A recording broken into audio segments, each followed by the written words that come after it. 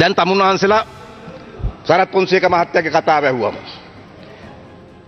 මේ බොහෝ දෙනෙක්ගේ කතා ඇහුවම දැන් ආණ්ඩු පාලනය කරන්නේ කවුද කියන ප්‍රශ්නේ එනවා.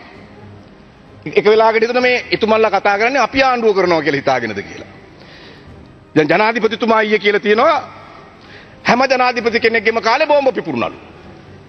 ඉතින් ඒ කියන්නේ ඒ නිසා අනිවාර්යෙන් ඊළඟ ජනාධිපතිගේ කාලෙත් බෝම්බ පුපුරන්න ඕන. එතුමට 2015 ජනවාරියට බාර දුන්නේ බෝම්බ පුපුරන එක නතර කරපු රටක්. ත්‍රස්තවාදය පරද්දලා සාමකාමී වාතාවරණය තහවුරු කරලා තිබිච්ච රටක්. ඒ රට තමයි අවුරුදු හතරමාරක් යනකොට මේ විපත්තිදායක ඉරණමට ඇද වැට්ටුවේ. අනිත් ජනාධිපතිලට බලය හම්බ වුණේ බෝම්බ පිපිරෙනකොට.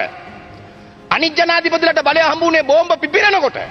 මේ බෝම්බ නොපිපිරෙන්නේ නැති රටක් තමයි බාරගත්තේ.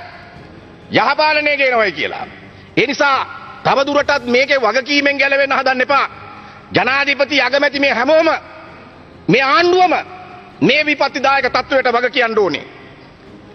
ඊළඟට දැන් මේ අගමැති වික්‍රමසිංහ මහත්තයා කියනවා නීති නැහැලු. 2014 ඉඳන් ISIS එක ගනුදෙනු කරපු කට්ටිය දන්නවලු. දැනගත්තට අත්තරංගුවට ගන්න නීති නැහැලු. මෙහෙම මෙහෙම කතා කියන අගමැති කෙනෙකුට පුළුවන් ද රටක් පාලනය කරන්න. ISIS එක කියන්නේ ලෝකේ තියෙන භයානකම ත්‍රස්තවාදී සංවිධානයක්. ඒකත් එක්ක ගනුදෙනු කරන කට්ටිය ගැන දැනන් හිටියනම් මොනවා කළාද 2014 ඉඳලා මේ දක්වා නීති නැත්තම් නීති හදන්න තිබ්බා. ඒක ඒකක ඩොකර බලන් හිටියයි. මේ රටේ දෙමව්පියෝ දරුවෝ ඉස්කෝලේට යවන්නේ නැත්තේ. මම ඉල්ලා හිටනවා පුළුවන් නම් මේ මේ ඉන්න 225 දරුවෝ ඉස්කෝලේ ගිහිල්ලාද කියලා හොයන්න. මගේ දුව මම ඇහුවේ නෑ. යවන්න බෑ. මම හිතනවා තමුන්නාන්සලා ඔක්කොගම දරුවෝ ඉන්නේ ගෙවල් වල. ඒ නිසා බොරු කරන්න එපා. කතෝලි කාඩිනල්තුමාගේ ඉල්ලීම පරිදි කතෝලික පාසල් බැහුවා. ඊළඟට ඉස්ලාම් පූජකතුමන්ලගේ ඉල්ලීම පරිදි මුස්ලිම් පාසල් කල් ගියා. එහෙම තියෙද්දි බෞද්ධ හා හින්දු පාසල් ටික විතරක් අරින්නේයි. ඇයි දෙමව්පියෝ දරුවෝ එවන්නේ නැත්තේ? අසමාන කොට සලකන්න එපා. කාඩිනල්තුමා ඒ කල් දැම්මේ හේතුවක් ඇතුව. ඒ හේතුව හැම දරුවෙකුටම අයිති. ඒ නිසා අඩු ගානේ මේ රටේ මහානායක හාමුදුරුවෝ ඉල්ලා හිටියා. ඒත් තමුන්නාන්සලා හුඟන් දුන්නේ නැහැ. අන්තිමට දෙමව්පියෝ තීරණය කළා දරුවෝ නොයවයි නෙයි. ත්‍රස්තවාදයට බය නෙවෙයි. බෝම්බවලට බය නෙවෙයි. මේ ආණ්ඩුව ගැන කිසිම විශ්වාසයක් නැහැ. ත්‍රස්ත ප්‍රහාර එන බව දැනගෙන ජනාධිපති තිරුපති ගියා. ත්‍රස්ත ප්‍රහාර එන බව දැනගෙන අගමැති කොහෙද ඇල්පිටියට වෙලා හිටියා. නුවරඑළිය හිටියා. ඒ නිසා ගරු කාරක සභා ගරු සභාපතිතුමියනි වෙලාව. ගරු සභාපතිතුමියනේ ගරු ගරු මූලාසනේ සභාපතිතුමියනේ දැන් මෙතුමිය මෙතුමා කතා කරනවා මේ නීති වල අඩුපාඩුවක් තියෙනවා කියලා. පාස්පෝර්ට් දෙක නඩුවක් තියෙන පුද්ගලයෙක් මේ අප පිට ඉන්නේ බලන්න. නීති වල තියෙන අඩුපාඩු වල තමයි. ඕගොල්ලෝ අපේ පාස්පෝර්ට් ඔය හිටියා ඕගොල්ලෝ දේශීය ආච්චිගේ මැණික් මල්ල ඔය හිටියා මහින්දගේ රත්තරන් හොයන්න ලංකාව වටේ තියෙන හැම ඉඩමක්ම හාර හාර හිටියා රාජ් පොලිසියට අපි ගැන හොයන්න කිව්වා ත්‍රස්තවාදීන් ගැන හොයන එක නතර වුණා ඕගොල්ලෝගේ මේ මොලේ මඤ්ඤං ආණ්ඩුව ආපු එකෙන් තමයි මෙතෙන්ට මේ රට විපතට වැටුනේ තවත් නැට්ට උස්සන්න එපා මහත්තයෝ හරකෙක් කියලා දන්නවා මුළු රටම ඒ නිසා ගරු මූලසනරුට මන්ත්‍රීතුමියනි දැන් බලන්න වැල්ලම් පිටියේ තම කර්මාන්ත ශාලාව ඉඳලා අල්ලගත්ත කට්ටිය. අපහම් අප දුන්නා නමයකටද කොහෙද? මොකද්ද වෙලා තියෙන්නේ? ත්‍රස්තවාදයේ වැළැක්වීමේ පනත යටතේ නෙවෙයි උසාවියට දැම්මේ. සාමාන්‍ය දණ්ඩ නීති සංග්‍රහය යටතේ. ඇයි පොලිසිය ත්‍රස්තවාදයේ වැළැක්වීමේ පනත යටතේ ඊබ්‍රහීම්ගේ පුතාගේ ඊබ්‍රහීම් කියන්නේ ජනතා විමුක්ති පෙරමුණේ ජාතික ලැයිස්තුවේ අපේක්ෂකයා. ඊබ්‍රහීම් සහෝදරයා.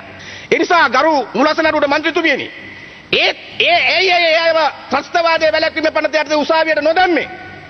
විපක්ෂයේ මන්ත්‍රීවරු නම් මොකක් හරි පටලවල පොදු දේපල පනතට ගැට ගහලා තමයි උසාවියට දාන්නේ අප නොදෙන්න.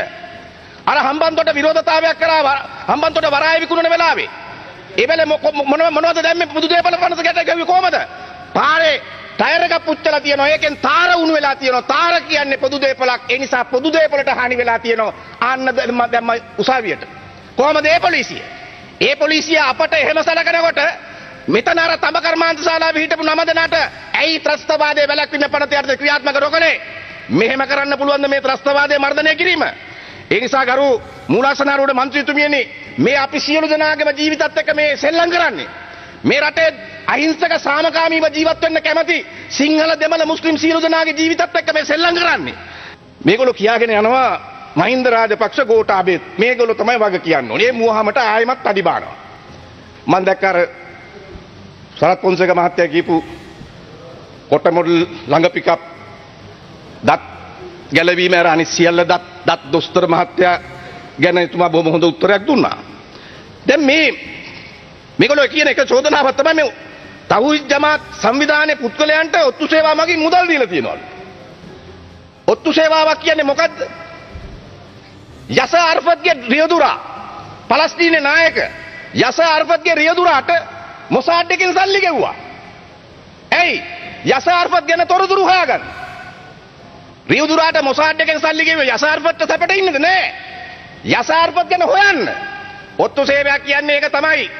හැම සැකකටයුතු සංවිධානයක් ඇතුළම පුද්ගලයන් මිලදී ගන්න බලනවා. ඔවුන් තොරතුරුකාරයෝ හැටියට ඉන්ෆෝමන්ස්ලා හැටියට පාවිච්චි කරන්න බලනවා.